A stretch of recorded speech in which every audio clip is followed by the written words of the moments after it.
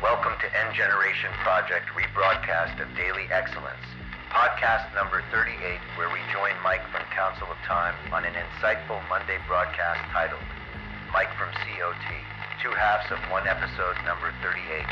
Discover the insightful teachings of Michael from the Council of Time by visiting COT's only official website provided in the description.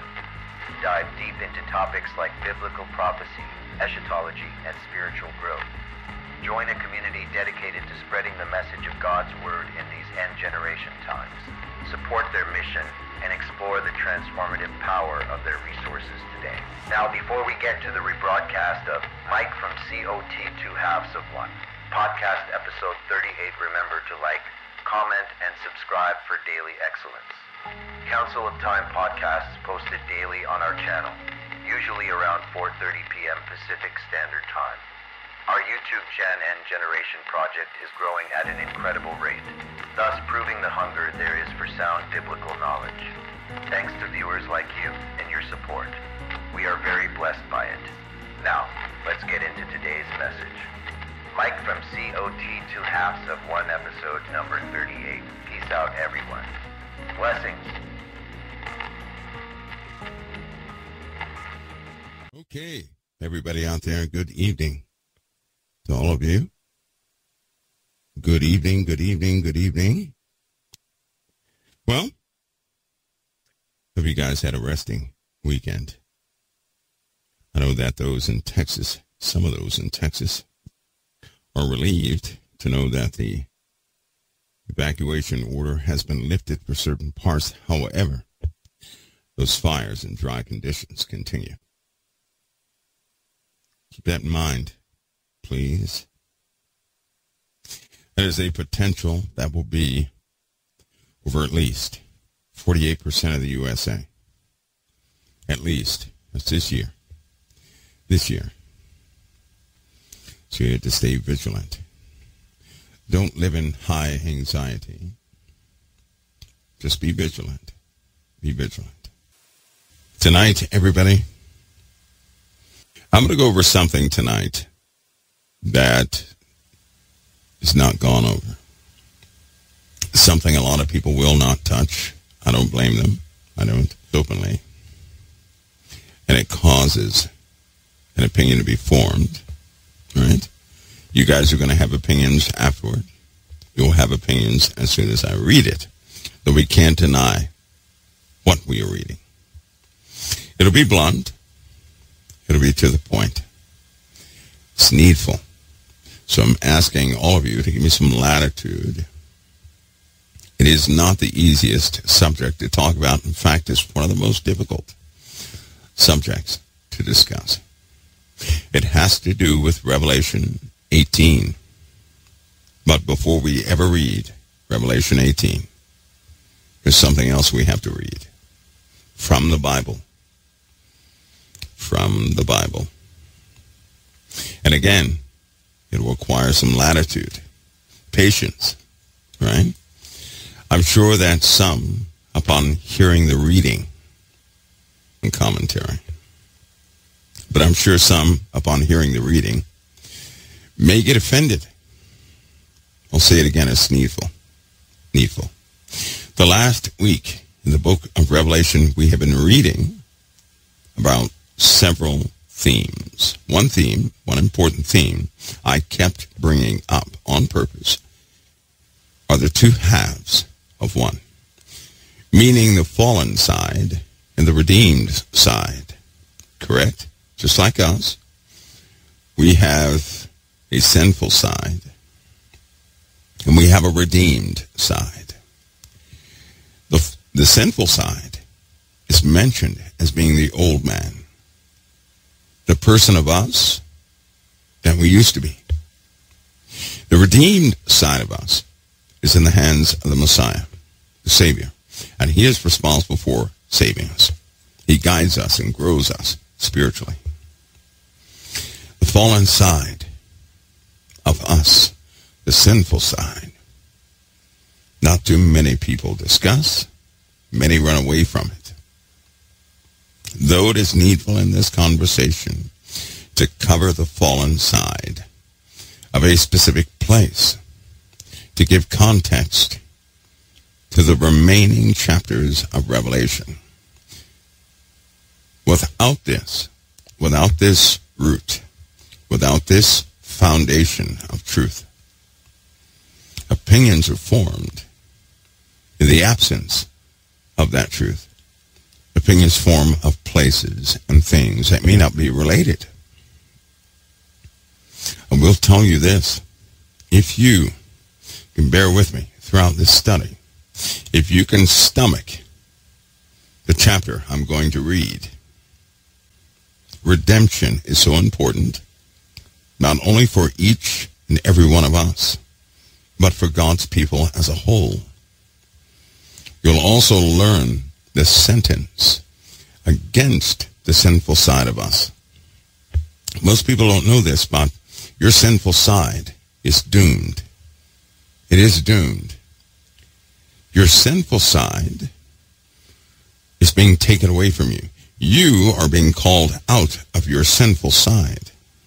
You're being called away from your sinful side. Thus, you have a born-again spirit. A born-again spirit has different desires, different goals. Hmm? Your sinful side knows nothing but rebellion, flesh, and the earth.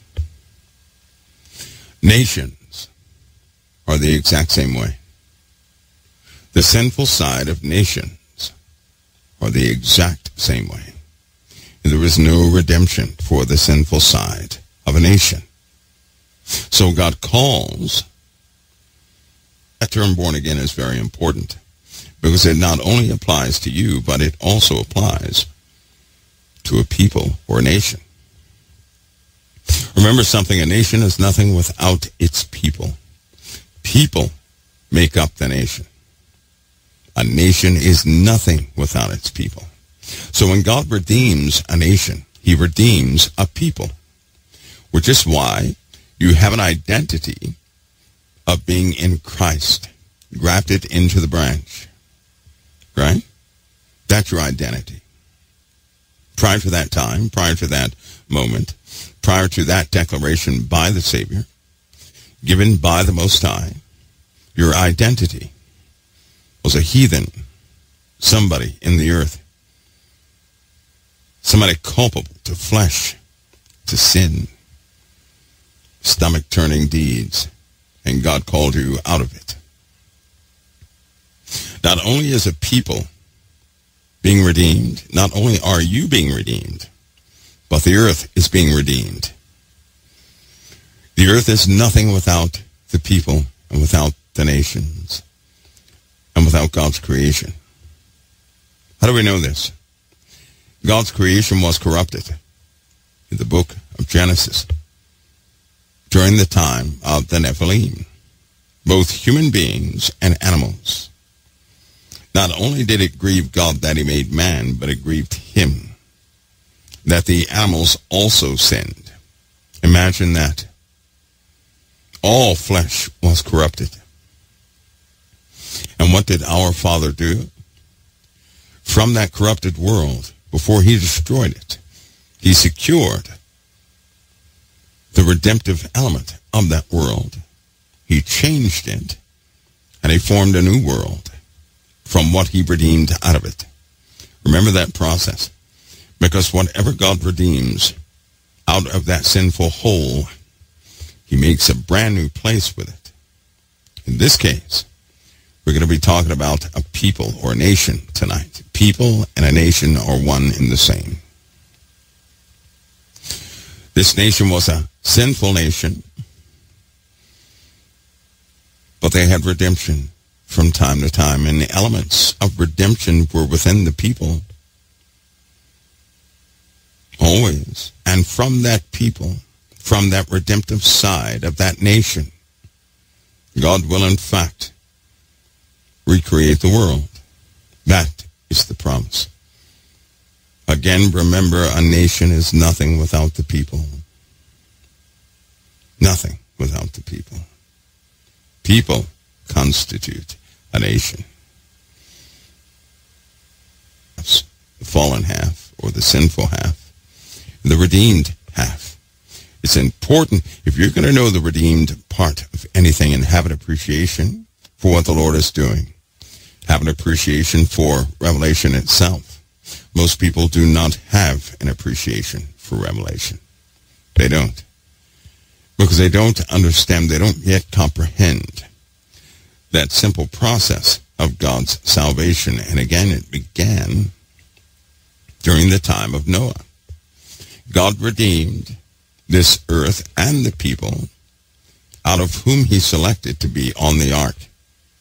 Animals likewise.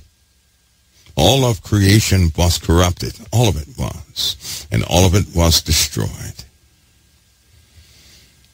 And a new world was created. It was reborn. And it fell again. This is the last time. The final time. The last process. Because now the entirety of the earth is going to be redeemed, but this time it's going to be a fully spiritual manner with full spiritual declarations and all flesh that chooses or that is corrupt will be separated from everything else. It'll be divided. All sin will be pulled away and divided from everything else. God will make a permanent separation of the fallen side and the redeemed side. And there will no more be sin. This is the completion of the process that began a long, long time ago. So again, to have an appreciation for revelation for what the Lord is doing so that you won't see it as absolute destruction. Understand what the Lord is doing. Also understand right now, is the world in a redeemed state or fallen state? You cannot, there's no in between. You're either in a redeemed state or a fallen state. What state is the world in right now?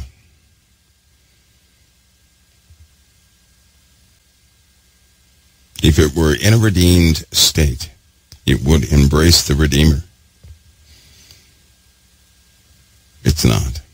There are many nations on this earth. Are any of these nations in a redeemed state? We're going to do. He's going to redeem the world for final time. There are elements of these nations, one in particular, that we have to learn about tonight. Your eyes and your ears must hear. You must see and hear this to be properly prepared because if you're not properly prepared, you will not be able to suffer what comes next. You won't. The Lord's declarations are clear, and men can rename components as much as they want, but the Lord made a declaration, and it will not fail. So it's best for us to understand it according to the Word of God.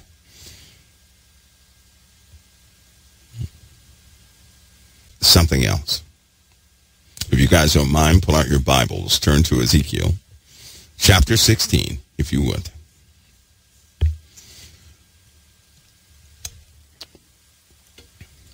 I'm going to take a few, few breaks in between this.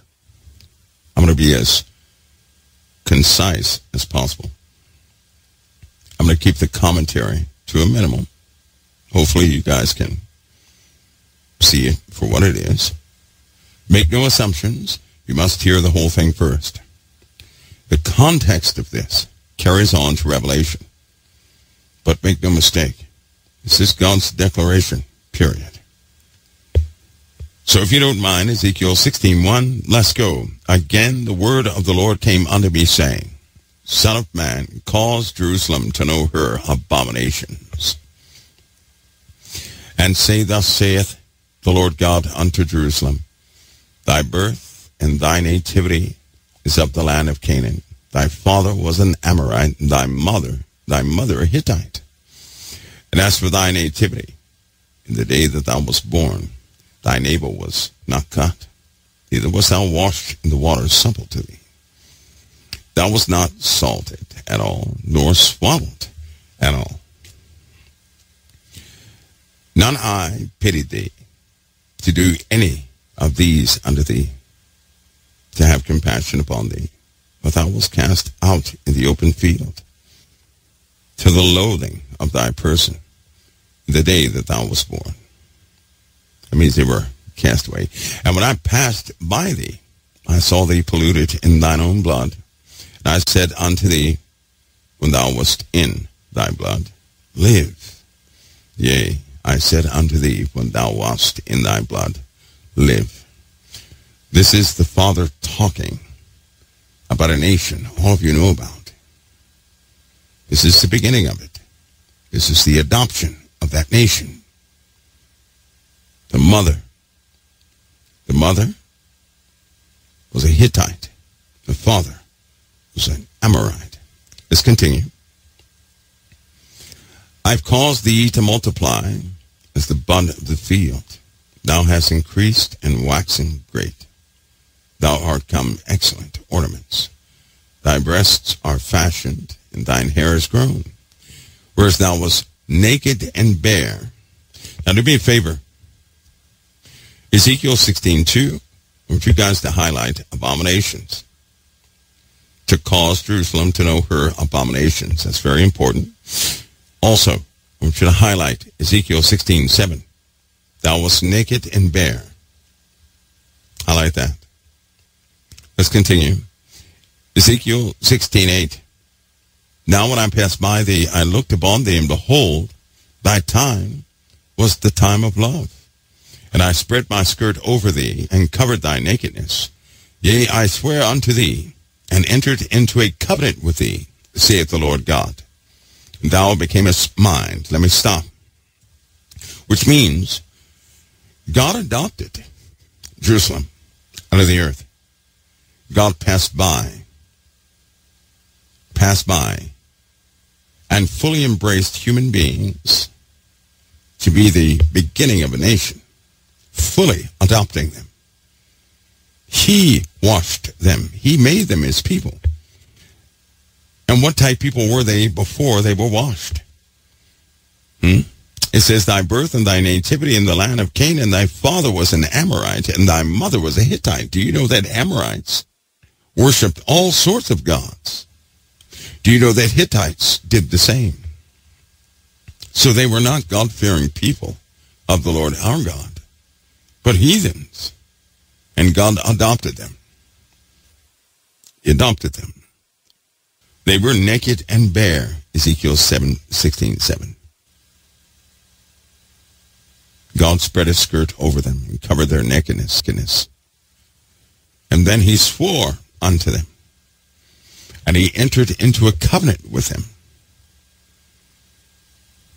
And it says, Ezekiel 16, 8, scripture fragment at the end, and thou becamest mine. So in that day they became the Lord's. Now you know the origin of that nation. Now you know it. Let's continue. Ezekiel 16:9. Then washed I thee with water, yea, I thoroughly washed away the blood from thee, and I anointed thee with oil. Blood is sin. Any infraction, any indecency, any dark thing was washed away from them. Their practices of worship and everything else, gone. Gone, because God washed it away. They didn't change it. The Lord God did. As he did the prophets. Let's continue. I clothed thee with broidered work and shod with beggar's skin. And I girded thee about with fine linen, and I covered thee with silk. I decked thee also with ornaments. Ezekiel 16:11 highlight that. I decked thee also with ornaments. And I put bracelets upon thy hands and a chain on thy neck. And I put a jewel on thy forehead. Please highlight that. He put a jewel on their forehead. On their forehead. And earrings in thine ears, and a beautiful crown upon thine head. Thus wast thou decked with gold and silver.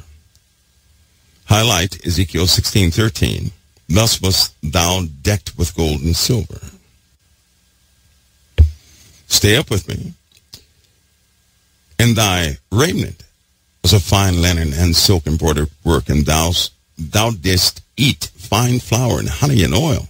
Thou wast exceeding beautiful. Thou didst prosper into a kingdom. So they formed into a kingdom with many blessings. Many blessings. Hmm? Many blessings. Now remember, wait a minute, let me pause. Now remember at the beginning of the conversation, if you don't hear the whole thing, you're going to enter into assumptive reasoning. And we don't want to do that. We want to hear the whole thing so that we can have it in context. We will discuss that a little bit before we go to Revelation. It's important to know the fallen side of what we're talking about here. It's important, very important. Ezekiel 16:14. And thy renown went forth among the heathen for thy beauty, for it was perfect through thy comeliness. Ezekiel 16:14 highlight the word perfect through my comeliness, which I had put upon thee, saith the Lord. Ezekiel 16:15 But thou didst trust in thine own beauty and playest the harlot because of thy renown and pouredst out thy fornications on every one that passed by. His it was. And of thy garments thou didst take, and deckest thy high places with diverse colors, different colors, and playedest a harlot thereupon. The like things shall not come, neither shall it be so. That means your previous days are not coming back. You won't be able to do this again. Let's continue.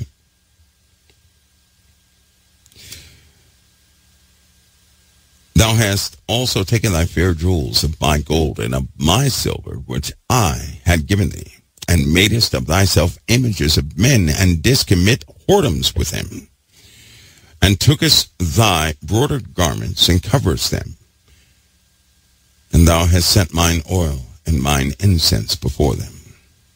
That's worship. Worship of what? Men. They made statues of men, idols. My meat also which I gave thee, fine flour and oil and honey, wherewith I fed thee, thou hast even set it before them for a sweet savor. And thus it was, saith the Lord God. the fine flour, oil, and honey. These things, these things are also food of the soul, especially when it mentions honey. Honey is very fulfilling. In fact, if you're ever hungry, right? If you weren't, if everybody's taste buds were not so mushed up by all this processed stuff, honey would be quite amazing to taste. Quite amazing. And it was called by many heathens the food of the gods for a reason. Because it is, it gives you a euphoric feeling upon eating it. So the Lord is, what he's saying here, he had put in them the best. He put in them the best. It's kind of like you reading the Word of God and you're filled up with the Spirit. And all of a sudden you go next door to your buddy drinking and you start talking about the Word of God and he's still drinking, rebutting everything that you say and then adding interjections of fantasy into it, and you start agreeing with it. That's called fornication. That's when you take something precious and you begin to mingle it with forbidden things. And by the end of the conversation, what you once had that was pure is now distorted. Your mind is full of questions. You can no longer receive the Word of God, but you have a thousand questions regarding everything of the Word of God because your knowledge is tainted. Let's continue. 1620. Moreover, thou hast taken thy sons and thy daughters, whom thou hast borne unto me. These, it says, and these haste thou sacrificed unto them to be devoured. Is this of thy whoredoms a small matter? They burnt their children in fires, burned them up. Is what they did. Burned them up. Is what they did. That thou, is it a small matter that thou hast slain my children and delivered them to cause them to pass through the fire for them? Do you hear these terms? Do they sound familiar? I know they're offensive. I know nobody wants to hear that. But this is the fallen state of a place, the historical truth of a place.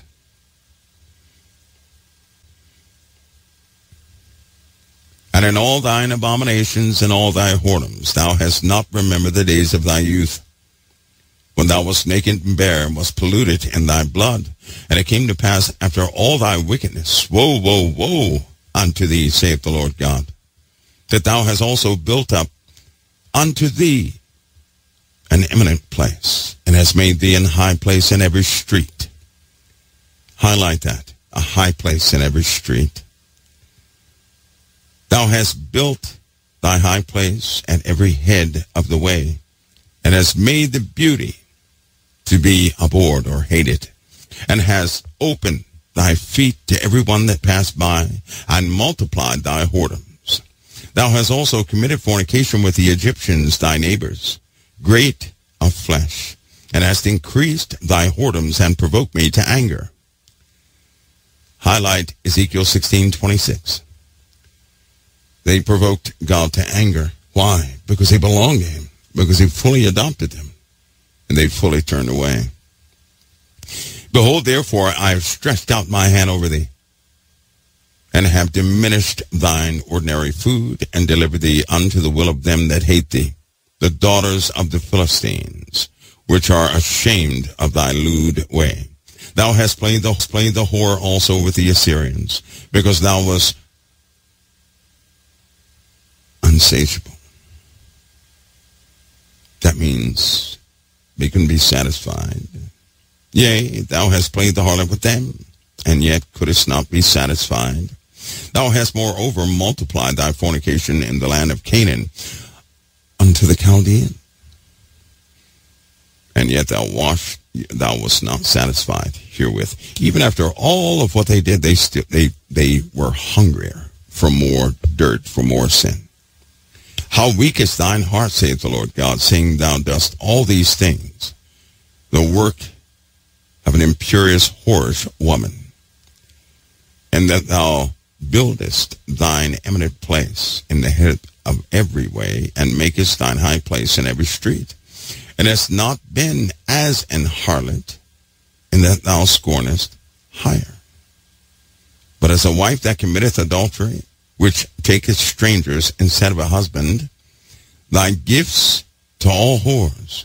Listen, thy gifts to all whores, but thou givest thy gift to all thy lovers, and hirest them, that they may come unto thee on every side for thy whoredom. And the contrary is in thee from other women in thy whoredoms, whereas none followeth thee to commit whoredoms and in that thou givest a reward, and no reward is given unto thee. Therefore thou art contrary. Hear that word contrary? Thou art contrary. God doesn't like this word. Not not with this description. I heard someone defend that one time. Oh, God likes contrary things.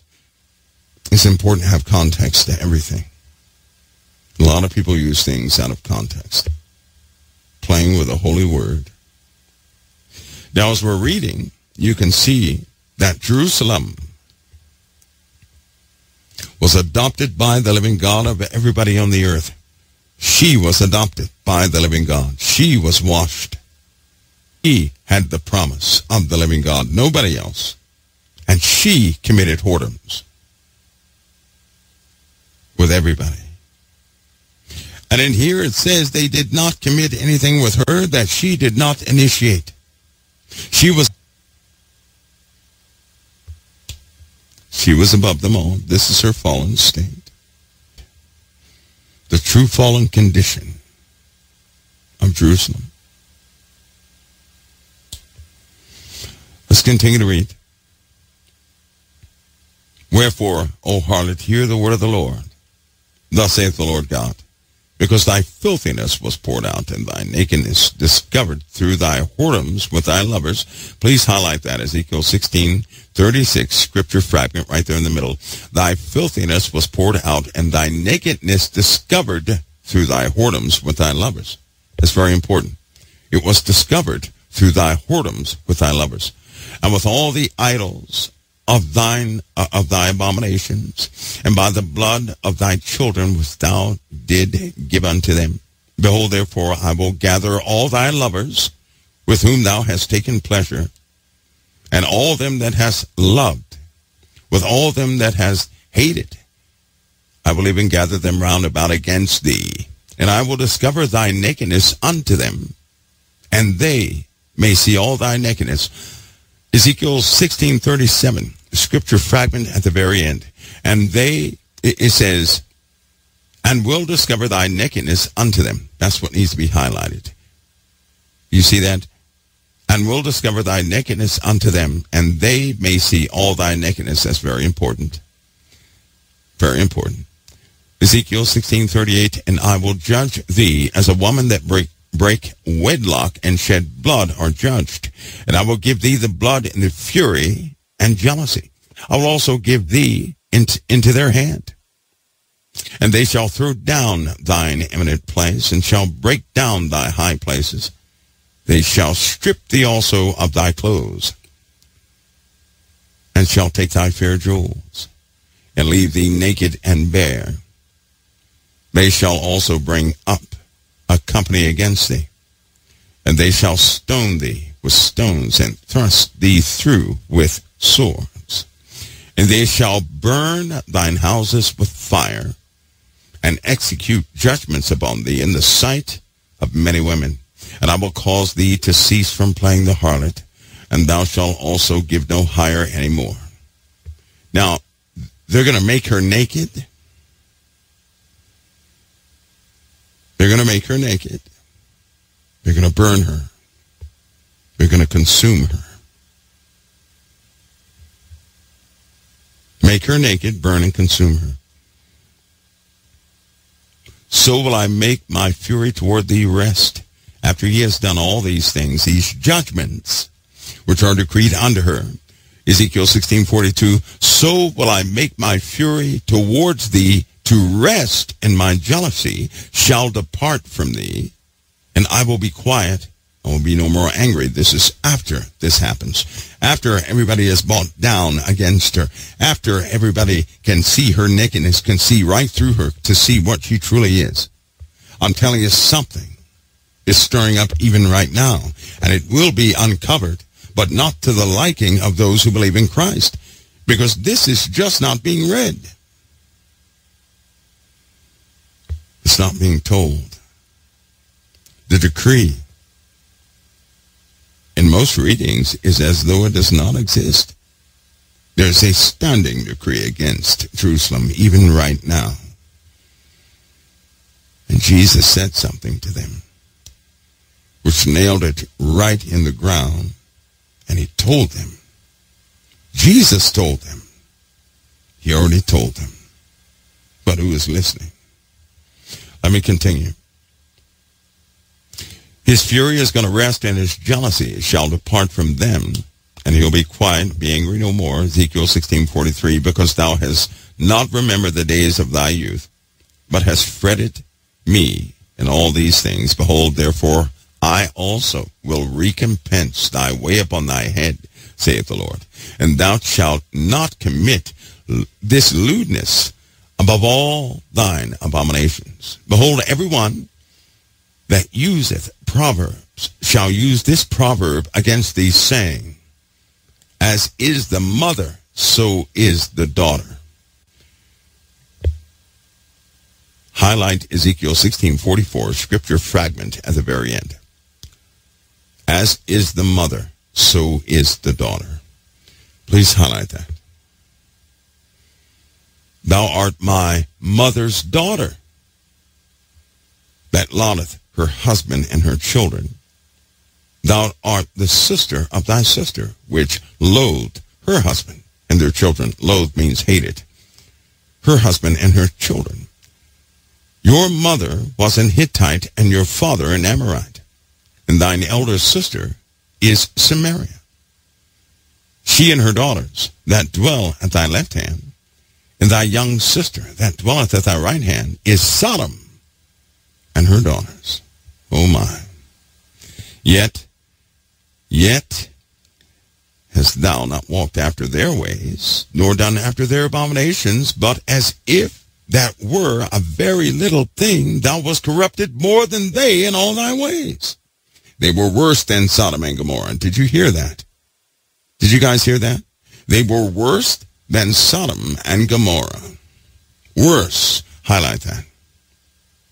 That's Ezekiel 1645, Ezekiel 1646. Let's continue. And Ezekiel 1647. Okay? Let's continue. As I live, saith the Lord, Sodom, thy sister, hath not done, she nor her daughters, as thou hast done, thou and thy daughters. Do you hear that?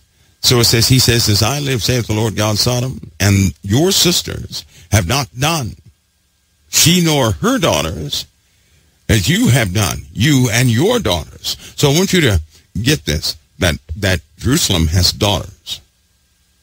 She has daughters. And God is saying, even Sodom and her daughters and those that are like Sodom didn't do what you did, you and your daughters. Behold, this way of iniquity of thy sister Sodom pride, fullness of bread and abundance of idleness was in her and in her daughters. Neither did she strengthen the hand of the poor and needy. Let me stop. Because this way, this way in Ezekiel 1649, let me read this one more time. This is totally up to you to see the characteristics this spiritual characteristic of Sodom. Why? Because there's a curse upon Sodom during the end days. Yet Sodom does not exist. But there's a curse upon Sodom. So let me read it one more time. Behold, this was the iniquity of thy sister Sodom. So what was the iniquity? Pride. Thinking herself above everybody else. Uh-oh. Fullness of bread. She had everything. Uh-oh. An abundance of idleness was in her. She just sat around and did nothing for anybody around about her or herself. Collectors, rich, fat, all these different things. It was in her and in her daughters. It says, neither did she strengthen the hand of the poor needy. Let me tell you something. Sustaining the poor needy, sustaining them in a poor needy state is not strengthening them. To strengthen the poor needy is to pick them up and to teach them and to cultivate them. Not force them like prisoners, but to teach and cultivate them. Do you hear me? Once you teach and cultivate the poor needy, you don't have the poor needy anymore. If you attempt to sustain the poor needy only, you're going to keep the poor needy in that land, and they're going to be indeed poor needy. And that is criminal. That is shameful. That's an abomination. And that's what men do. That's what these kingdoms do. Let me continue. And they were haughty and committed abomination before men. Therefore I took them away, as I saw good. Neither had Samaria committed half thy sins. But thou hast multiplied thine abominations more than they, and hast justified thy sisters, and all thine abominations which thou hast done thou also which hast judged thy sister, bear thine own shame for the sins that thou hast committed, more abominable than they. So not only are they themselves an abomination in this case, but they looked at everybody else, right, and tried to say that they were had abominations when they had worse abominations. They are more righteous than thou. Yea, but thou confound it also, and bear thy shame, in that thou hast justified thy sister. As these kingdoms do, when I shall bring again their captivity, the captivity of Sodom and her daughters, and the captivity of Samaria and her daughters, then will I bring again the captivity of thy captives in the midst of them, that thou mayest bear thine own shame, and mayest be confounded in all that thou hast done, and that thou art a comfort unto them. Why would God ever say that? Listen, in that thou art comfort unto them when thy sisters Sodom and her daughters shall return to the former estate, and Samaria and her daughters shall return to their former estate. Then thou and thy daughters shall return to your former estate. Uh-oh, we're there. To return to your former estates, to return to your former place. For thy sister Sodom was not mentioned by my mouth in the day of thy pride, before thy wickedness was discovered, as at that time of thy reproach of thy daughters of Syria, and all that are round about her, the daughters of the Philistines, which despise thee round about. Thou hast borne thy lewdness and thine abomination, saith the Lord. Now listen, this is important. For thus saith the Lord God, I even deal with thee as thou hast done, which hast despised the oath in the breaking the covenant. Nevertheless, I will remember my covenant with thee in the days of thy youth, and I will establish unto thee an everlasting covenant. Then thou shalt remember thy ways, and be ashamed. Now we know that hasn't happened yet. Then thou shalt remember thy ways, and be ashamed when thou hast received thy sister, thine elder, and thy younger. And I will give unto them I will give unto thee for daughters, but not by thy covenant. And I will establish my covenant with thee, and thou shalt know that I am the Lord, that thou mayest remember and be confounded, and never open, never open thy mouth any more because of thy shame. When I pass by toward thee for all that thou hast done, saith the Lord God. In other words, when God corrects them, it won't even be in their hearts to do what they did. Because in fact, they're doing the exact same thing now. They're calling out to everybody on every side when all they had to do was call out on the living God. The Lord said he would restore them to their former estates. The Lord said he would restore them, Samaria and some other places, to their former state. That is the establishment of the Middle East right before they do what they have to do. And then God would bring all of this to fruition. All of it. Not some of it. All of it to fruition. But as you can see, Jerusalem had a fallen state. Also, you can tell that the Lord was talking about these end times. Because he said they would never forget. And he will not rest He'll not rest until this is done. Now, we all know when the Lord does rest, he's going to let us know he is resting. See, when the Lord rests, there is no evil. When there's evil, the Lord does not rest. Keep that in mind.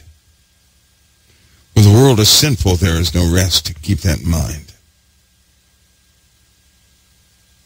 That's why the only place of rest one can enter is Christ for us on an individual basis. In this case, with the living God, he will only rest following the correction of his people. But you heard the descriptions. Chief harlot of all. And everybody else is subordinate to her being a harlot. Every other harlot on the earth is subordinate to this one to Jerusalem. But why is it so, so bad?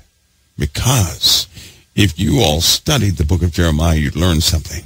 That if Israel right now, right now turned back to the living God, acknowledged her ways, these ways, quit compensating herself saying that we need Russia, we need the USA, we need this place, and call out on the living God, I mean truly turn to her. God said he would heal the entire earth and his name will be known throughout the entire earth. Now, when God says his name will be known throughout the entire earth, do you not know that's a very special Hebrew phrase that was used there? That to know his name. We don't know his name. We do not know his name. Nobody can use his name because they don't know it. We can use the name of Jesus, but we cannot use the name of God because we do not know it. God is not his name. God is a title. And these kingdoms are in a fallen state. And this will be brought to fruition. Now you know the state, the condition. Now you know why Revelation is the way it is. Now you know who is who. Well, let me give you a caution. Try not to convince anybody of who is who. Hold that close to your hearts. We live in the times where everything will be uncovered. And when they see it, they will be confused. Those who love the Word of God, they will be confused. They will be confused. But you'll have the truth. And you won't be confused. When you have knowledge that you have kept for the sake of the Lord's Word and His timing, the Lord will add to you knowledge and wisdom when it's time to talk to the people during the time of disclosure, God's disclosure, when nobody can deny he is at work.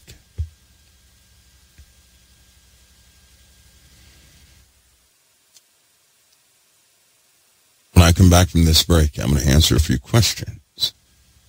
I'm going to recap something in Revelation so that you'll see it. And then we'll go forward.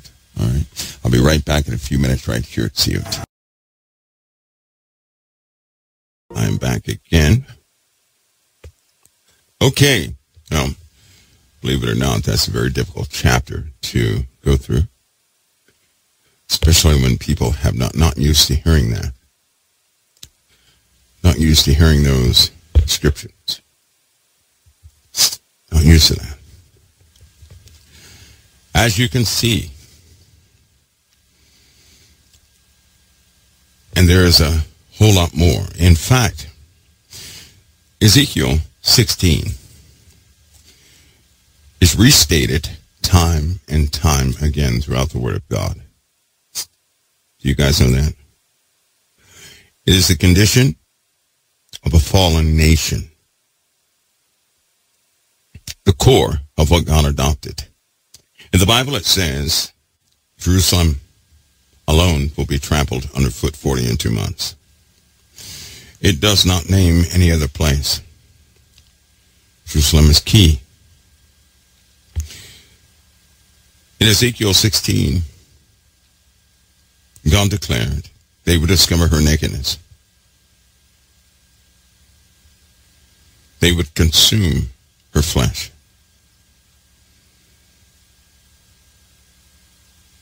They'd burn her. But that's the fallen state of Jerusalem. It will be punished. God will never cancel his covenant. But on the contrary, he said, although they despised his covenant, he's going to remember his covenant with them. In the days of their youth, in the beginning, he will remember it. That correction will come. That's part of his covenant. To keep her, listen to me, to keep Jerusalem, he must correct it. Correction of the two halves is to get rid of the sinful half, to totally separate it from the redeemed half. This process that you see in Ezekiel 16, these declarations you see in Ezekiel 16, are important for the entire earth. Though it happens in one place, that one place governs the entire earth. The one place. God's indignation comes for one reason. And this is something also that will be clarified. Notice God did not, he wasn't speaking about his wrath, was he? In the New Testament, it says God's wrath is against what? The children of disobedience. Correct? That's who his wrath is against.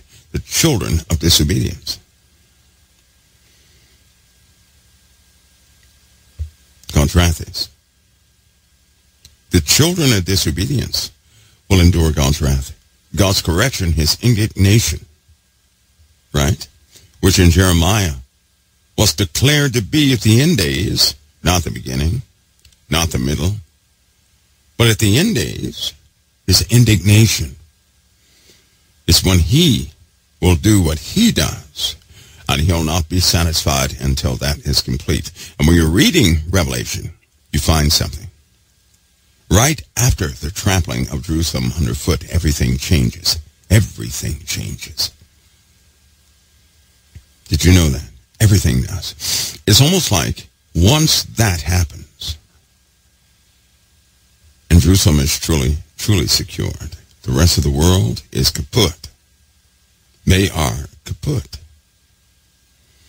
In the Bible, you read that Jerusalem will become a cup of trembling, but not that. That's after that's after Jerusalem is overrun.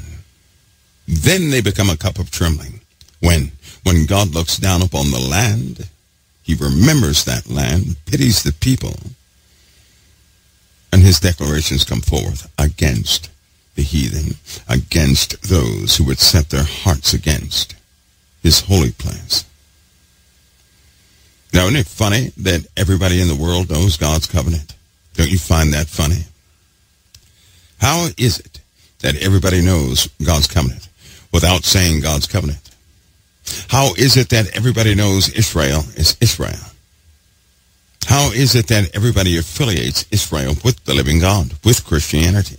How is it they understand it's the home of it? How is it that Jerusalem is contested of all the Middle East? It's always in high-level talks.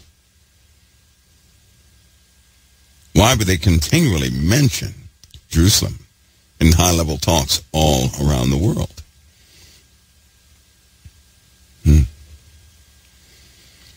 Why has Jerusalem been ravaged by war over and over again?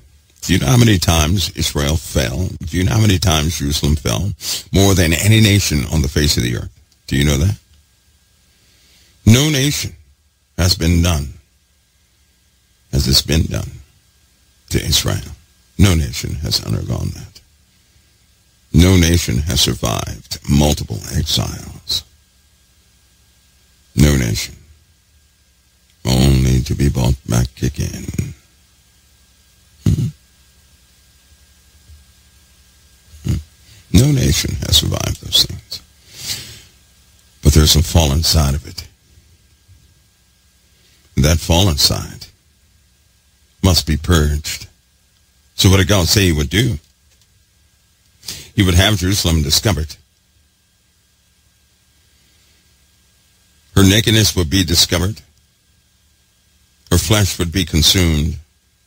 It would be utterly torn down. Utterly taken over. That's what most people are not taught. That's what they don't understand. So when they read scriptures like Jerusalem in Revelation where it says Jerusalem must be trampled underfoot 40 and two months, when they read that in the book of Daniel where it says he will have the power of the arm and they will go into Jerusalem and set up the abomination that make it desolate there. And he'll set up these idols all throughout the lands and everything and somebody takes over Jerusalem. When it says that God will draw all the armies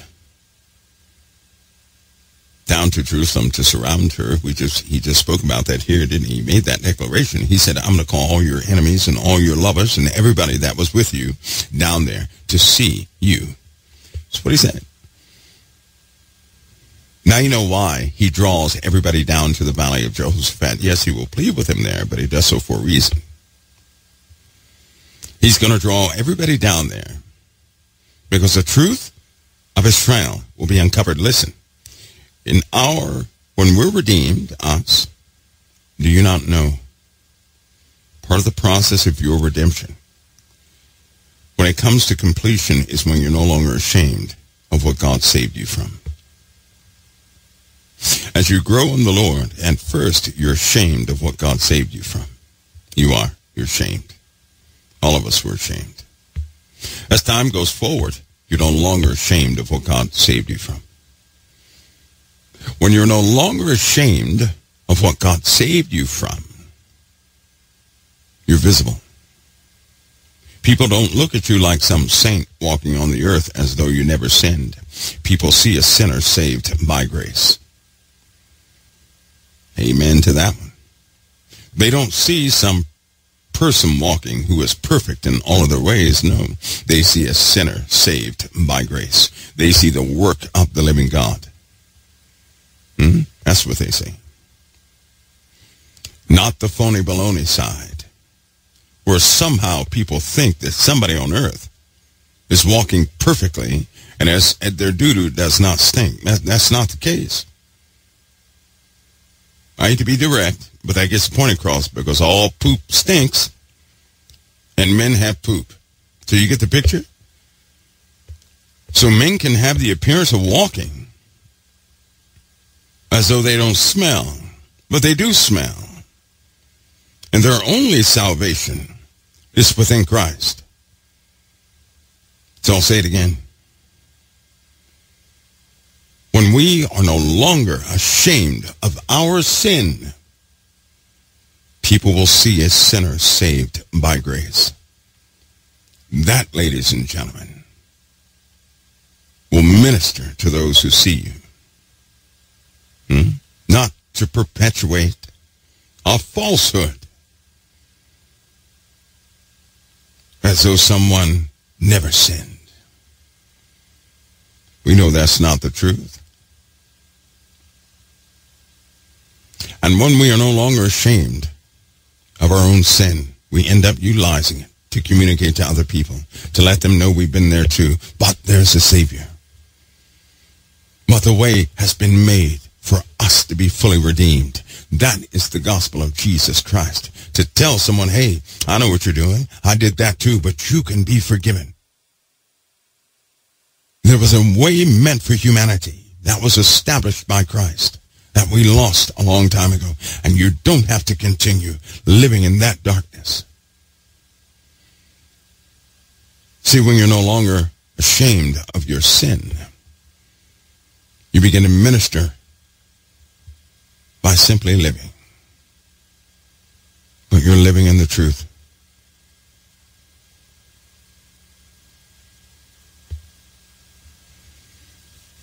Imagine what will happen when God has Jerusalem discovered. See, unlike your sin, listen to me. Unlike you, God did not go out and advertise your sin to the world. He didn't do that.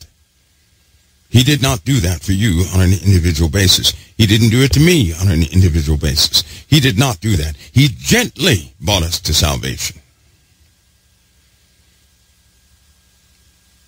But for Jerusalem, Jerusalem is unlike anybody else. God has made his decree to have her fully uncovered. God will fully expose the iniquitous part of her. Now listen to me. When he does this, that's going to cause a shock to everybody else. And when they see it, that's when they're going to scoff big time. That's when they're going to laugh big time. That's when they're going to do evil things you never thought anybody was capable of doing. And then God will intervene. And in that day, in that day, when God intervenes, when she is uncovered, when she's half dead, wounded and burnt, they'll see the loving nature and the raw power of the living God. As they see the process of salvation upon that place. And then everyone who set their hearts against Jerusalem during her time of redemption will flee. And only those whom the Lord allows to get free will witness what happened. But everybody else is going to be kaput. That's why Jerusalem becomes a cup of trembling. Because in that day, people are going to learn that God, yes, he is forgiving. Yes, he is real. And yes, he loves his people. Beyond the nature of all love, he loves his people.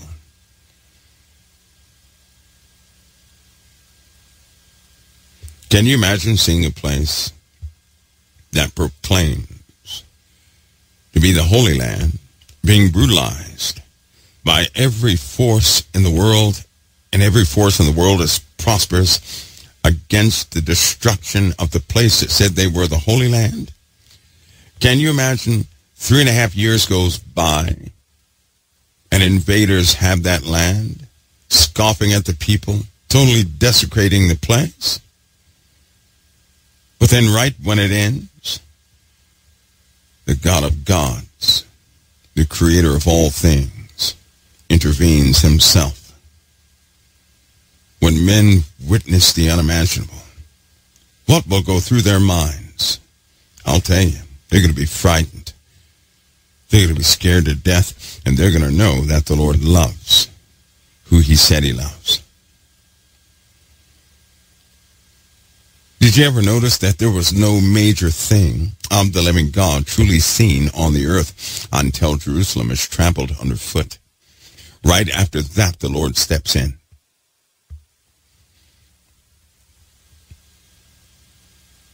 Did you notice? Okay.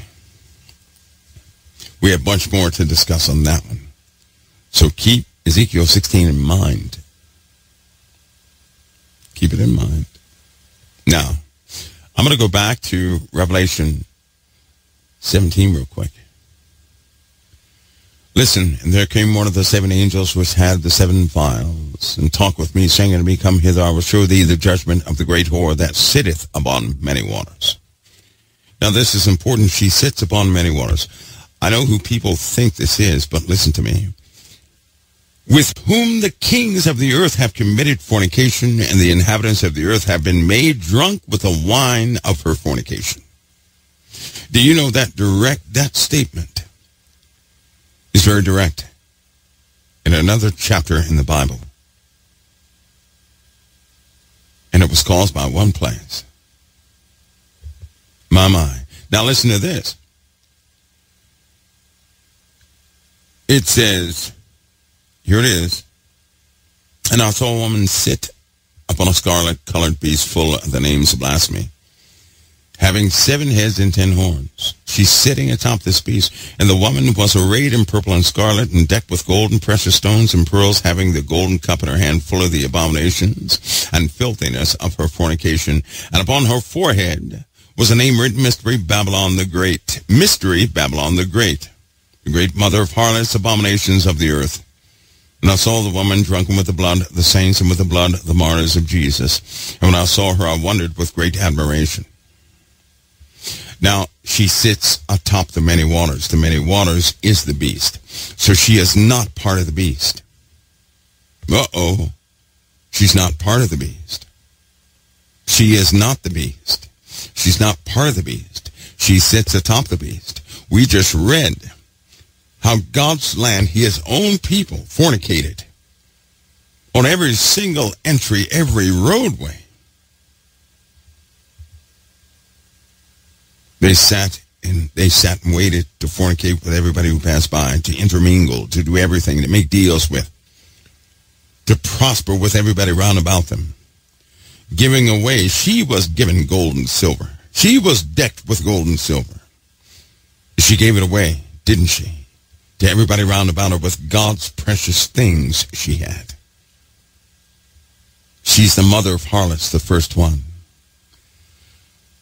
The mother of harlots, the first one. She herself is not Babylon. She is mystery Babylon. Mystery Babylon. She herself is not Babylon. She is mystery Babylon.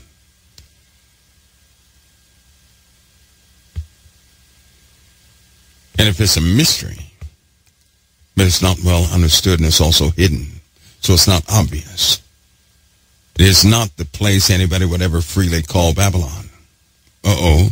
So it's not something you can look at, Christians, and say, oh yeah, that's Babylon. Nope. It says Mystery Babylon. Mystery Babylon. Who put a jewel in the head of Jerusalem? Who did that? When God put Jerusalem together, who put a jewel in her forehead? Who decked her with precious stones and precious things? Who decked her with gold and with silver and fine linen and all that good stuff? The living God did. And what did she do? What did she do? She committed whoredoms, grievous whoredoms. She was worse than Solomon. She was worse. Worse than Samaria. Worse than everybody else. Worse. This woman sits atop the beast. Now let me read this. You ready? And the ten horns which thou sawest are ten kings, which have received no kingdom as of yet, but received power as kings one hour with the beast. These have one mind, and shall give their power and strength unto the beast. These shall make war with the Lamb, and the Lamb shall overcome them, for the for he is Lord of lords and King of kings. And they that are with him are called and chosen and faithful. And he saith unto me, The waters which thou sawest, where the whore sitteth, are peoples and multitudes and nations and tongues. You hear that? I'll say it again. And the waters which thou sawest where the whore sitteth are peoples and multitudes and nations and tongues. And the ten horns which thou sawest upon the beast, these shall hate the whore, and shall make her desolate and naked, and shall eat her flesh and burn her with fire. The beast, does, a lot of people say, well, that has to be the Vatican. Here's the problem.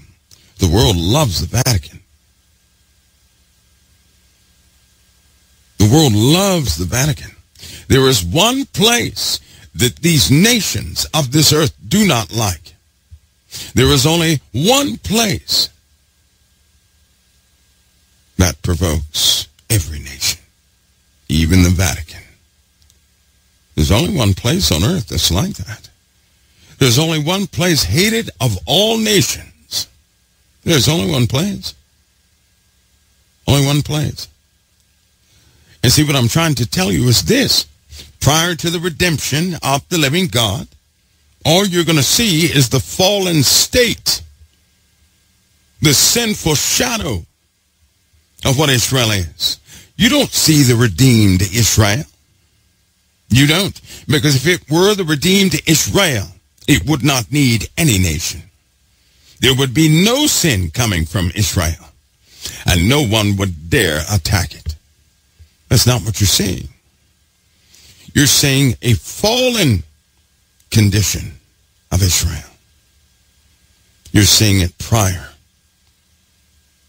prior to the everlasting kingdom that's going to be put there. That's God's land and the New Jerusalem, which will descend out of heaven to the earth, will be there, but it's not there yet. And Jerusalem Jerusalem is not measured. Not measured means not accounted for because it's given to the heathen, to the various animalistic people of the earth. That means it's in a fallen state. The woman is in a fallen state and she's hated. The beast hates her and they're going to attack her. They're going to burn her with fire, eat her flesh, that is, to devour her, to overtake her. There's only one place with that declaration, only one place that has that declaration. To say, Jerusalem will be trampled underfoot 40 and two months because the Lord will redeem her. She will be redeemed. God has an everlasting covenant with that place. She will be redeemed. But right now what you're seeing is the fallen state of Israel. And you know what? The world does not know that. Find out. God didn't make a declaration to any place on earth except for Israel, and he said he would draw all nations are going to be against Jerusalem. He didn't say all nations are going to be against Baghdad, all nations are going to be against Babylon, all nations are going to be against Sodom. That's not what he said.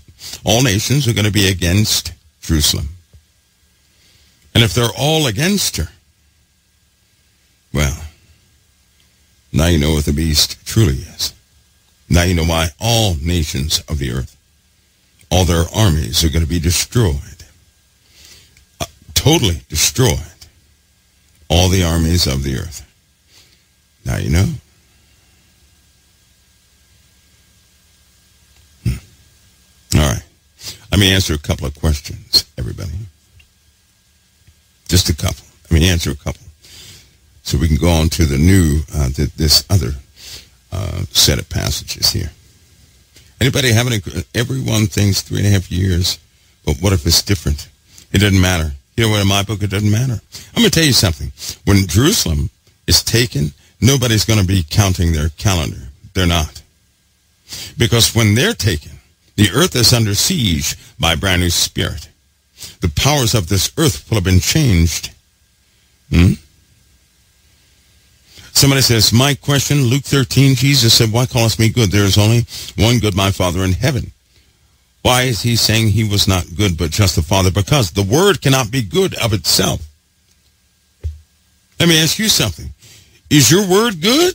If you wrote me something and I have your word, what good can that word do me? Nothing. You're the author of that word. You're the only one that can be good. So Jesus, being the word of God made flesh and dwelt among men, is pointing the goodness back to the Most High. He's telling them the truth. He's telling them that the word cannot be good. The word is just the word. The originator of that word is good. That's what he's telling them. Can you see that? See, a lot of people do not know that Jesus is the Word of God made flesh. It will be just like everything you speak being made a person. That person, if it were made a person, that person could only say what you desire it to say. So whatever you think to say, it would say. And if you don't think to say it, it won't say it. See? That's why Jesus said, I and the Father are one. That's why you cannot separate them. You see that?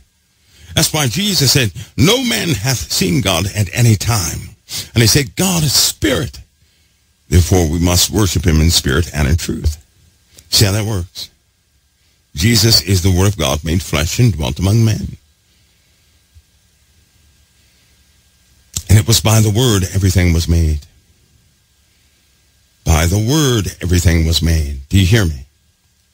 Do you hear me? By the word, everything was made. And that brings up something else. So what is the Holy Spirit? The Holy Spirit is the Spirit of the living God. The Spirit of Him. What is the Spirit of you? Is the Spirit of you the Word of you? No. But your Word is a result of your Spirit, isn't it? Yes, it is. God is the originator the Spirit is God's Spirit, which was poured out on all flesh. Acts chapter 2. Jesus is the Word of God made flesh and dwelt among men. Gospel of John, chapter 1 and 2. See how that works? They're all one. He names those components. Right? If a person wants to say the Father, Son, and the Holy Spirit, they say, well. If a person wants to say all or one, they say well. They're not saying anything different. Without God, the Spirit does not exist, nor does the Word exist. The Word and the Spirit are the living God. Just like you are your Word. And the motivation behind what you do, Spirit, is the reason your Word came forward. That's why the Bible says, what about the Spirit? Huh? What about the Spirit? It'll give you what to say in the hour you need to say something. Originator. My goodness. But make no mistake, the Holy Spirit is God's Spirit. It is God's active Spirit. And when God's active Spirit is flowing, There's no error. There's no mistake. None. It is perfect in what it gives. It is not some human spirit. It is perfect and without flaw. It is power. And it can issue declarations that cannot be undone. And if we choose to be a vessel of that, then we choose to be a vessel of that. The Holy Spirit is with all of us helping us, but not everybody operates by the power of the Holy Spirit. Is directed by the living God through Christ Jesus for those who obey him. To work by the power of the Holy Spirit is meant for those who obey him, not for those who won't obey him. To obey someone is to carry out what they tell you, not to question everything they give you. That takes a massive amount of trust, which means you have to be rooted in faith without proof. That means you don't have confirmation. You either believe or you don't. That's what that means. Some people want to believe because they have confirmation. I'll tell you this. Do you believe in the one that gave us the words in this book? Or do you see this book as a bunch of writings that people put down and therefore you have questions about everything that's in it? I'll tell you right now, I don't have questions. I don't, if the Lord instructs me by this word, I'm going to go and do it. I don't need to ask anything because I learned something. I chose to do the first time. I did. And I found out something. As you obey, the Lord will explain. See, the Lord will say, come and go here. You don't ask anything, just keep trucking, right? And as you go, the Lord will say, I sent you here because of so-and-so and because of this. And he will add knowledge to you. Most people cannot be sent. You know why? The Lord will say, go, and they'll say, why? Then they'll say, well, is this from the Lord? They'll start questioning everything, and they don't move anywhere. When you trust the Lord, and you say, well, Lord, my life is in your hands. I'm going to trust you all the way in all faith. I have no questions. And the Lord sends you somewhere. If you read something in his word that says, love your enemies as yourself, then you just do it. You don't ask why. You just do it because you know he will add to you the wisdom and the knowledge necessary.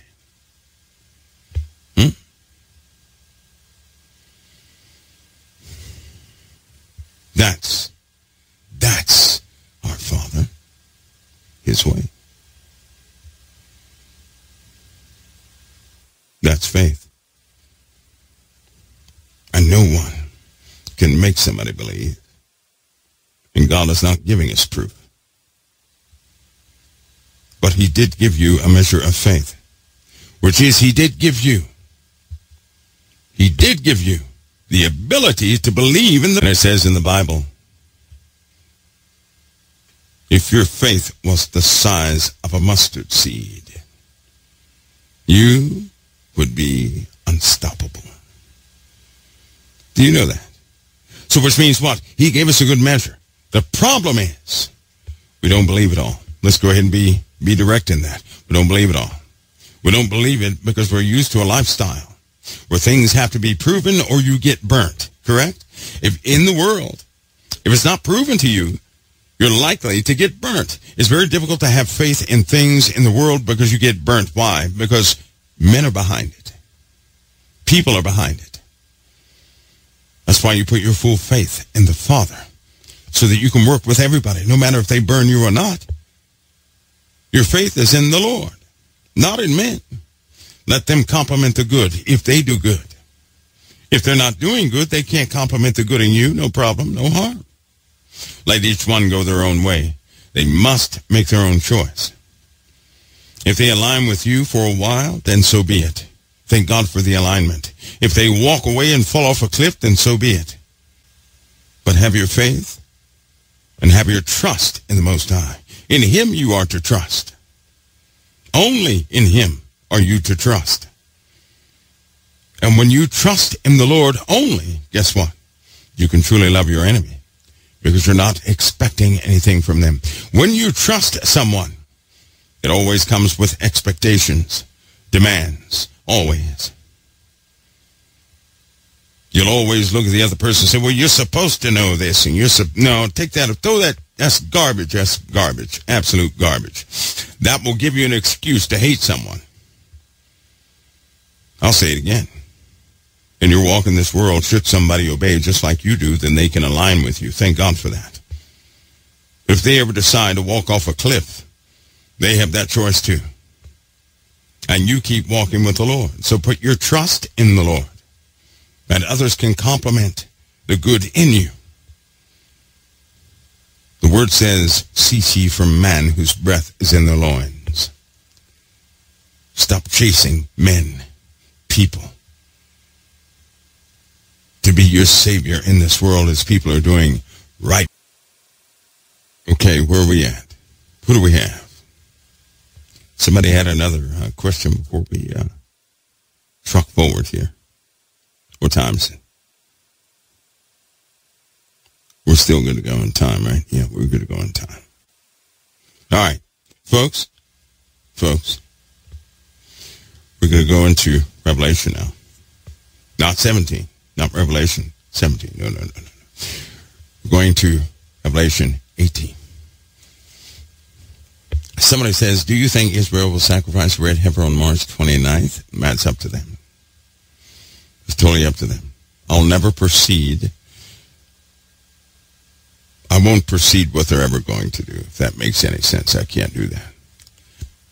Somebody says, Mike, you said to avoid the Kolbrin, please give a credible source for us to find historical information about the destroyer of the binary system.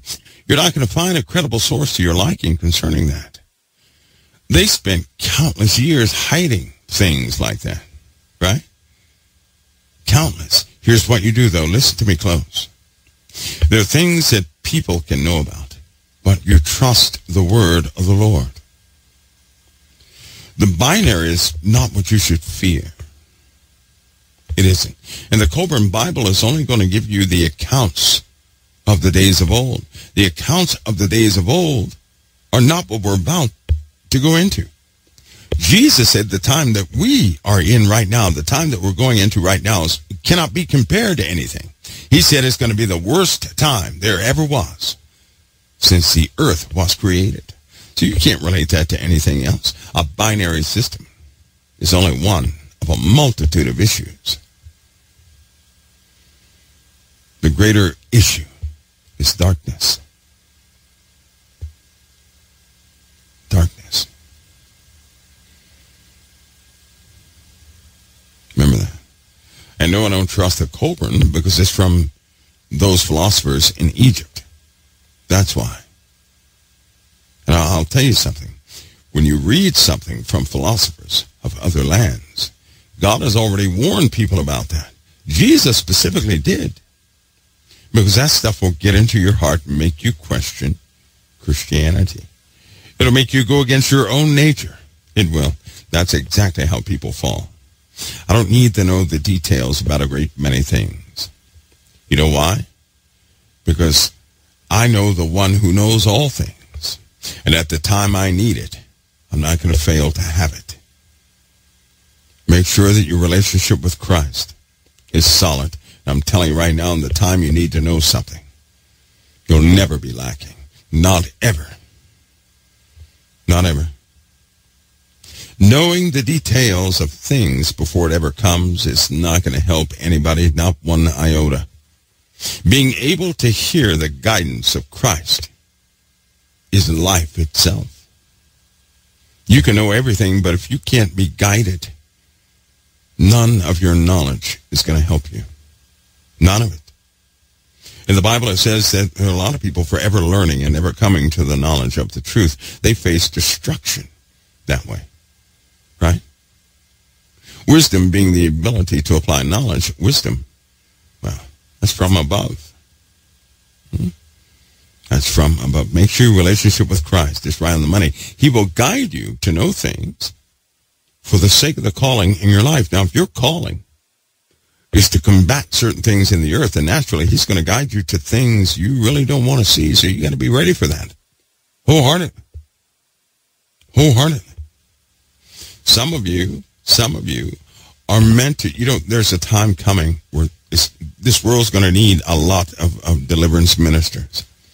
I mean, some real ones, not the ones with rituals. No, no, talking about folks with the true Holy Ghost who can stand before and combat the worst looking things you ever saw in your life.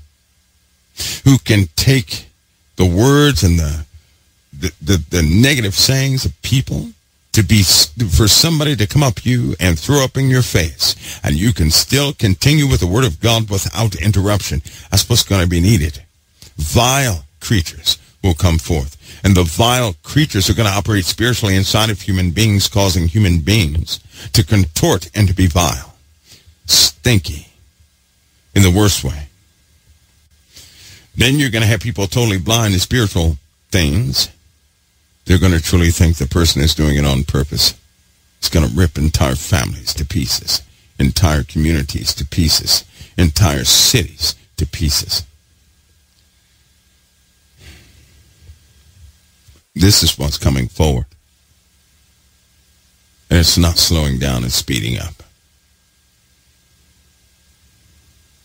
If God is going to shorten the days, then expect everything to be condensed at the end, which means back-to-back troubles. Revelation 18, here we go.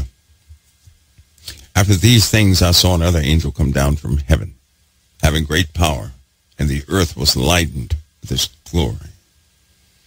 And he cried mightily with a strong voice, saying, Babylon the great is fallen, is fallen, and has become a habitation of devils and the hold of every foul spirit, and a cage of every unclean and hateful bird. Highlight that. Revelation 18:12. A cage of every unclean and hateful bird. Now you may not like it, but that tells you Uh, I mean, that tells you just bluntly exactly what God is speaking of. Oh boy. You, you don't want the answer. You don't want the answer. It'd be nice if it was always the other place. But let me ask you this. If a child was born in the middle of the kingdom of the beast, how would the Lord deliver that child? If the child was born in the kingdom of the beast, how would God deliver that child?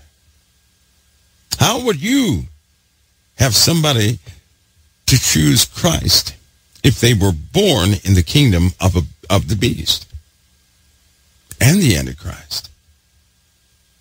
How would you do that? Anybody? How would you do that? Wouldn't you have to get the uh, child to see where they are? And that would be almost impossible. To you, it would be obvious. Do you know why? You have something to compare it to. If you're born within a nation, you have nothing to compare that nation to.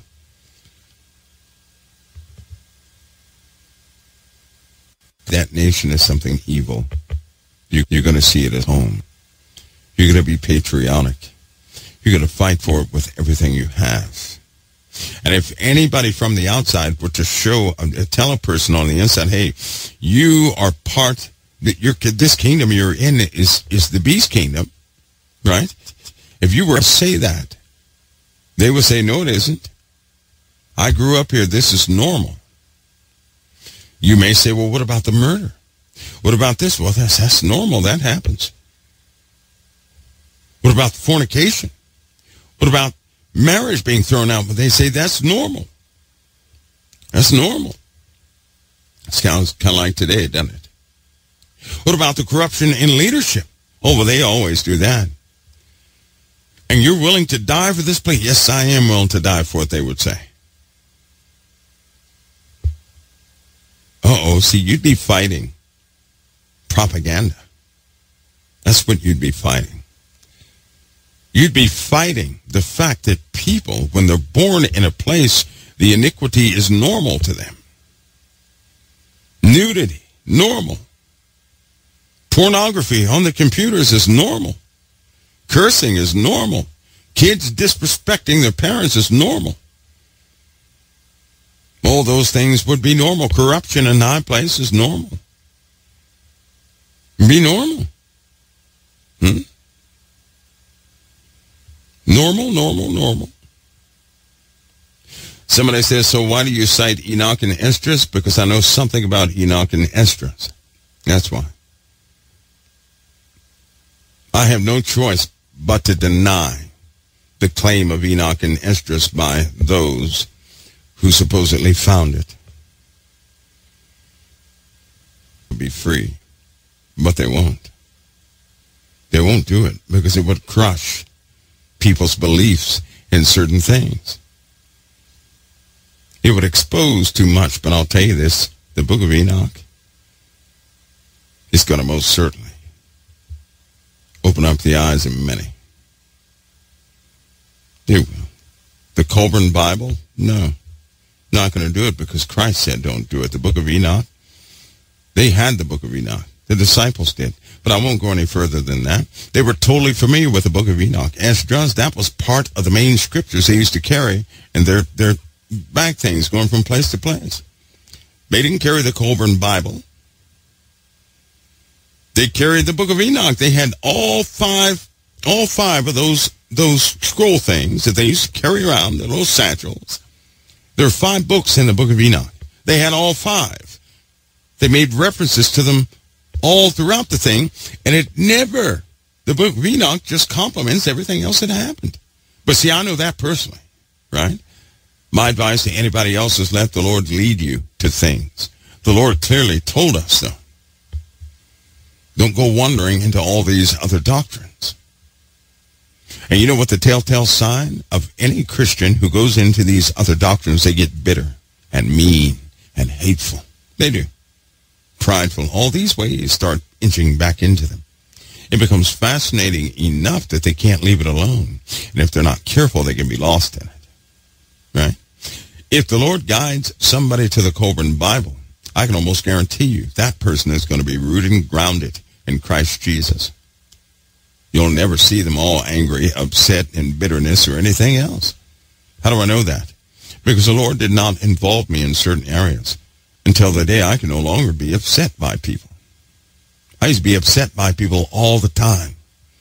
Depressed by people, sad by things that would happen in the world. Not anymore, because I'm rooted in Christ. And they don't have an ability to change my emotions. The worst things have happened, and nobody ever knew it. You guys didn't know it. You didn't know it. You heard the same mic. You may hear my tone change based on spiritual things with me prior to a conversation. You cannot discern if something is ripping me apart or not, right? You can't discern that. Because I'm not going to be moved. I'm moved truthfully by the Lord's word, by his decrees, by his goodness. I'm not moved by trouble, nor good times. Not moved by that. Not moved by having power, being powerless. I'm not moved by that. I am moved by the Word of God. But the Lord didn't put me in any place to confirm anything when I was not. Why would he put a person who would be drawn into something ungodly? Why would God put them near it? The Lord's Prayer says, lead us not into temptation, but deliver us from evil. Hmm. Somebody says, are the Hopi Blue and Red Kachinas the same as binary system? No, I don't think so. I don't think so. See, I heard that story in my family line a long time ago about the Hopis. Blue, Red Kachina. Yeah. I heard that. I know that very well. Know about Kahana. Know the whole thing. I know about the whole thing the conditions of it becomes and I do. But what you may not know, and don't go investigate it, is this. You ready? Some people have messed up what the Hopi carried. Do you guys know that the Hopi talked about Jesus of Nazareth? Figure that one out. Yeah, that'll blow you away, won't it? It's on a disc. Four discs were made, put in four different lands. Christ Jesus was mentioned in one, he was described. They were told to hear him and that he would return again. He also told them to abandon, to abandon some things. See, this world is so messed up and corrupted that through archaeologists who prove things, you had a younger generation of Native Americans to come forward and declare the prideful ways of their ancient folks, and they threw away all the redemptive knowledge. They did. There were certain Native Americans that were devoted to Satan. I'm not going to tell you which ones, but they were devoted to Satan alone and nobody else. And they marked everybody that would ever come forward in their bloodlines with satanic works. And the grounds they claimed, they had ceremonies on every single month until the day they couldn't be found anymore to declare it a home place, like recharging of darkness. And it just so happens that place was found and is utilized by another organization. Isn't that something? There's some dark things that have happened in histories that we cannot prove. And unless you have family who is who is who is honest and goes back some lineages. And because you always find these divergences with Native American stories. You always find divergence. Always. Which means you'll have hints of something that changed in all these lands. You'll hear of a war, a true war of darkness and light in these lands. Made it to these lands. How the gospel made it to these lands and we're not talking, we're, we're talking thousands of years ago. Mexico knows the truth. They know the truth. They know the truth from one of Noah's sons. Do you know why they keep things secret for the sake of relationships to keep the money flow going? Because if a powerful nation says, don't share the truth because it's not in our best interest, they will not. They'll make up lie after lie to keep the money flow going. Why? Listen, because when you're absent spiritual authority in a true relationship with Christ, you need other people. You need whatever they can provide you. If any of us truly, truly trusted Jesus, I mean truly, then we would, we would understand he can provide to us beyond the almighty dollar, right? We'd understand that. We would understand that in truth we truly need him and nothing else. But who's at that point? Who? Type of one if you're at that point. If you don't need money. Because if you're at that point, then you can give away everything you have and live happily for the rest of your life and flourish and grow. See? Is anybody at that point yet? Or do we still need resources from the earth? I think we still need resources from the earth. I don't think we're there yet. I do not. I think that a time is coming, but we're not there yet. That's what I believe. I believe that we're still heavily dependent upon money. Because if we were not, we would not engage with money at all. We would not have any money at all. That's what I believe. Mm-hmm.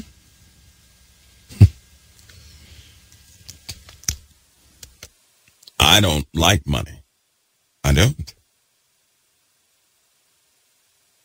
In times of old, and they could be true today, but they do not edify anything in your life. It'd be useless. It'd be like a child finally under knowing who Santa Claus is, but they have no food on the table. Their knowledge of Santa Claus is not going to help them fill their bellies. There's lots of wisdom in the earth just like that. Godly wisdom is needful. But wisdom in the earth is different. What man calls wisdom is not what the Father calls wisdom.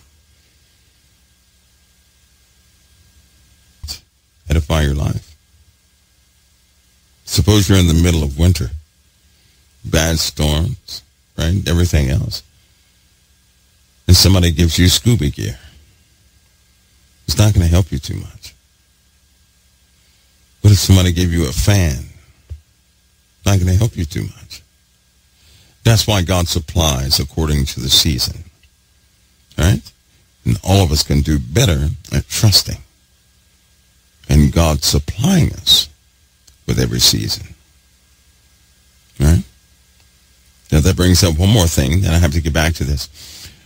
The Lord was outspoken one time in the New Testament because of one thing that was notable. It was almost like you, when you read it, you perceive him as talking louder than normal. Do you guys know when that was? I'll tell you when it was. It's when the Lord said, you can discern. You can discern if, uh, I'm going to paraphrase, you can discern if a storm is coming by the color of the clouds, this, and the other, but you cannot discern the coming of the Son of Man. He was not very pleased because they were not discerning the seasons of the living God upon this earth. They could discern everything of the earth, but they could not discern spiritual seasons. They could discern everything else. They knew about everything else, but they were spiritually mindless. The Lord does not want us to be that way. He does not want us to be in a position where we cannot discern the spiritual season. And we all know there's a time and a season for all things. We know that. And this is a season of closing, which is not obvious to the world, but it should be obvious to you and to me. And a real change is taking place. Not just some change we read about, but a change that will affect every soul on this planet. My ability. I'm going to add this too. You know what? It, it really, now one thing that does bother me is when a person is taken by the many traps laid in this world. The Bible says when Satan, when he tells a lie, he speaks of his own. What does that mean? That means Satan was in the past. He influenced kingdoms, kings, and many things. They set up lies back then that are being uncovered now. And because they're being uncovered now and they're Satan's lies back then, men today accept them as truth and they cannot see the lie. Do you guys see that? When Satan tells a lie, he tells of his own. Of his own what? Of his own things of his own actions, of his own plans and his devices. He historically influenced these kingdoms a long time ago. The Sumerian kingdom, the fallen kingdoms. He influenced those kingdoms. And people dig them up and what do they discover? Lies. Manuscripts of lies. But lies. Now when it comes to authenticating who wrote what, God gave you internal confirmation of his truth. You did not need the Bible to know that Jesus existed. You did not need the Bible to know that God was God. You didn't even need the Bible to know that Jesus was returning. But you do need, you do need something to show you what happened in Egypt, don't you? You do need something to confirm what took place among Native Americans. You do need something to tell you what happened historically to other lands. You do not need anything to know many things of the Most High. God gave you internal confirmation. Thank God for that. Because men, the fallen, Nephilim, they try to lie. They try to write lies historically so that when people dig up something old, they think it's true. Just more lies for the bucket.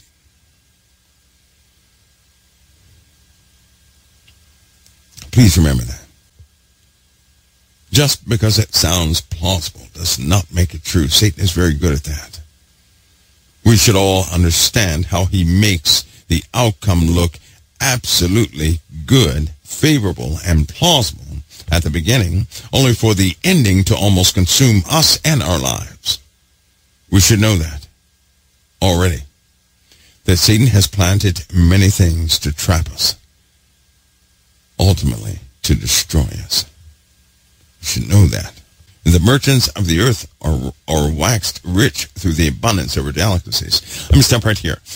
We just read about the fallen state of Jerusalem, right? We did. We read about the fallen state of Jerusalem. Here we're reading about Babylon. But why is it when you read Babylon, there are bits and pieces of every nation in there? Well, see, we read something last week. Do you guys remember what we read? You remember? The blood, the martyrs of Jesus, the blood of the prophets, was found where? On whose hands? Whose hands? The sinner's hands. You remember that? You guys remember that? You remember what we read last week in, in I believe it was Revelation 16? Do you guys remember that? Listen to this. Now I heard the angel of the water say, Thou art righteous, O Lord, which are, which was, and which shall be, because thou hast judged thus. For they have shed the blood of the saints and prophets, and thou hast given them blood to drink, for they are worthy. Who is he talking about? Who is he talking about? He's talking about the people of the earth that are left during the time of the wrath of God. The people that are left are sinners. The sinners, the sinners have shed the blood of the saints and the prophets. The sinners did. So if the sinners, remember at the beginning of this conversation, I said, the people constitute a nation. So if God is saying Babylon, he's talking about a certain type of people. There is no Babylon without the people, is there? Is there? There's no Babylon without the people, right? The people constitute a nation. And in Revelation 16, if we read, right, that those sinners of whom the wrath of God is against, the sinners have shed the blood of the prophets and of the saints. In her was found the blood of the prophets. Right? It, this woman is, is clearly a sinful state of a place. And we know what that place is. So, but we're still talking about sin. And in Revelation, if you go all the way to Revelation 21 and 22, you start reading a very interesting story, right? You read a very interesting story, but most importantly, um, Revelation, um, um, let me go find it here real quick. You read something here in Revelation. Let me let me find it here. Hold on, so I cannot. I want to mess it up for you guys because this gets people all the time. And it's it, the more you read it, the more it's embedded in your mind, the more you see the truth of it, right? Because we always talk about people always you hear you hear many pastors, and I believe it too, that the this this um, the Ezekiel 38, right? The Ezekiel, the wars described in Ezekiel are about to take place. You also hear about Gog and Magog, correct? Gog and Magog. A lot of people say, "Ooh, this is Gog Magog." Well, let me read something to you. You ready? You ready? And when the thousand years are expired, and Satan shall be loosed out of his prison, and shall go out to deceive the nations which are in the four quarters of the earth, Gog and Magog, to gather them together to battle, the number of whom is as the sand of the sea. Did you hear that? Right after that thousand years that Satan is bound, he is loosed again. And it says he goes out to the four quarters of the earth, comma, Gog and Magog. Why would that be in there? Why would Gog and Magog be in there? Because at this time the entire world has become Gog and Magog.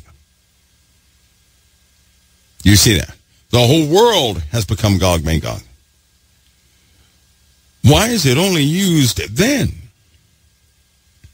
Gog Magog went through a process. They saw something, and after seeing it, they still went against it.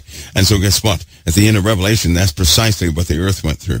But prior to that, you hear about another place called Babylon. Babylon.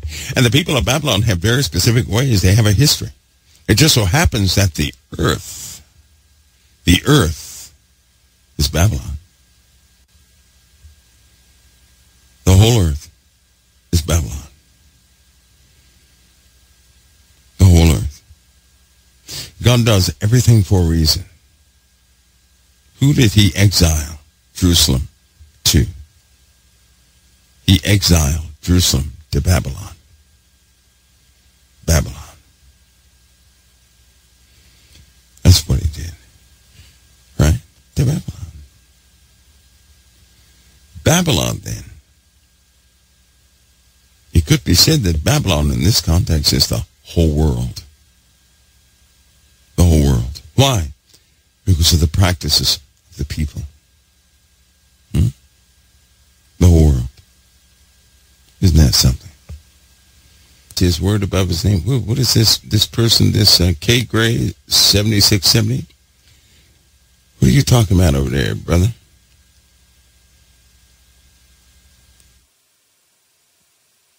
It seems like you want to know something on that war will be. But after the millennial, God may, God, of these two wars, everybody has that, right? Everybody thinks that because, listen, here, here is, here's the mind. When somebody says a name like Babylon, you think of a nation. When somebody says Gog Magog, you start thinking of a specific scripture, right? What does God do with prophecy? They open and they close. Is that correct? Far too often, a prophecy will open and continue, and then God will close that prophecy. He'll bring it to completion. When God brings a prophecy to completion, he'll always mention that prophecy again. That's the pattern throughout the entirety of the Word of God. He did that with Christ, too. He did that with the flood, too. He mentions it the first time, right? He does. And we get to see the people that constituted the original places and things and everything else. But then afterward, we see the closure of that prophecy or the ending or the completion of that prophecy. And when it's mentioned again, it normally takes a broader spiritual form. For example, Babylon started out as a physical country, right? But even in the book of Daniel, it says something about Babylon with King Nebuchadnezzar was a place. And then in that statue, all the other kingdoms were inferior to it. But King Nebuchadnezzar was a standard. And if he was the standard and all the other kingdoms were inferior, and there are only four in human existence, then Babylon is one. If there are only four kingdoms in the book of Daniel for the entirety of the earth, four kingdoms, and they all come one after the other, then all those kingdoms are Babylon. Babylon, the head of gold. Babylon, the, the, the other kingdoms, Babylon, Babylon with the feet, with the iron and clay, that's still Babylon, having dominion over what? The entire earth. That's why the book of Daniel is so important, because Babylon, the four kingdoms of this earth, of which King Nebuchadnezzar is the standard, or is that head of gold, all of them are Babylon. So this entire time, Babylon has been the entire earth. Do you see that? Do you see it? And then the everlasting kingdom comes in, crushing and subduing all the other kingdoms, smashing them in little pieces. The everlasting kingdom that will not pass away. That is God's kingdom. Right? You see that? It was Babylon that was given dominion over all the earth, wherever the birds fly, wherever the fish swim, wherever the land animals down, people are. And King Nebuchadnezzar was the standard of the kingdom. There were only four. And they had dominion over the whole earth. So then the way of Babylon is the way we're living in right now. That's why God refers to the whole earth as Babylon. Do you see? You see? Even when we read this, we start seeing in Revelation, he's talking about Babylon falling. Now, all of us can mention and say, wait a minute, all the idols fell? Yes. All of us. Oh, the whole world has idols all over the place. God is not, you know, a lot of people say, well, you know, America is Babylon, right? But look, everywhere has, has these things of Babylon in it. Every statue is going to be hewn down. Every monument is going to be hewn down. All of it. Everything is just like Babylon. And what governed Babylon back then? The rule of law. What governs the world right now? The rule of law. It's the same thing. Same exact thing. They fight to see who's king over Babylon, just like they did in the days of old. They do. Because you had a Persian king that was king of Babylon. And then you had some other guy, some other, you know, nation that was king of Babylon. So there we are with Babylon. But then there's fulfillment with Gog and Magog about a specific war and the people therein. Now in Babylon, you have different types of people, don't you? Gog Magog is about our people and their chief prince. They have specific ways about them. And God said, but he's going to get them. Right? So at the end, in Revelation, the whole world becomes Gog Magog. The four quarters of the earth become Gog Magog. And God's fulfillment takes place then. And there you are. Hmm. See how that? Creation. The same way he uses a skunk. Look, I, look, I, I don't follow skunks around, but they're part of God's creation. And they do serve critical purposes in the earth. I do know. Just like poison ivy. Right? Just like poison ivy. God can utilize all of his creation in any way he sees fit. We all too often, we don't understand how he uses that. But it's his creation. That goes back to your faith. You really have to you really have to reassert your own belief in things. You have to say, wait a minute, do I really believe that God created all of this? Because if I do, let me take a step back and start to think in that mindset. Right? Let me start thinking in that mindset. And when you do, when you start thinking in that mindset versus, you know, all this other stuff people are talking about, the Big Bang and this, that, and the other, when you start thinking in the mindset that the Lord has given us, things clear up. The moment you doubt, right, what are those milestones or key pillars in our faith? That's when you start having too many questions. Too many questions. Job said to the Lord, why, why was I even created? You know what the Lord said to Job? The Lord shut him down and shut him up. In other words, the Lord said, don't you, don't you question me. You are my creation. You exist for my pleasure, for what I want you to do. I don't exist for what you think I should do. We forget that, don't we? We exist for his pleasure. For whatever he wants to use us for, we are here. We exist for that. And see, that's what's so, this is the prideful part of humanity. They don't want that to be true. They don't want that to be true. Why do you think they want to escape Earth? They want to be more. They want to be their own gods. They don't want to be part of creation that somebody made and can utilize them as he sees fit. They don't want that. They don't want that. You hear people say it all the time. They're not going to rule over me. They're not going to tell me what to do. This, this rebellion is within people so bad they can't submit to anything. They can't submit to anything. But the Lord made us. Right? And when you truly do come to terms, and when you truly believe that, that's the same day you take no thought of your own life. You don't.